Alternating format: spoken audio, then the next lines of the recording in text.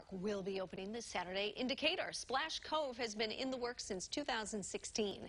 It has water slides, a kids play area, a lazy river, a water zip line, diving boards, and more. The Park District asked community members what new facility they wanted most. But it's not just for people in town. I think this is great, not only for Decatur, but surrounding communities. We have something for everybody of any age and all skill level, levels.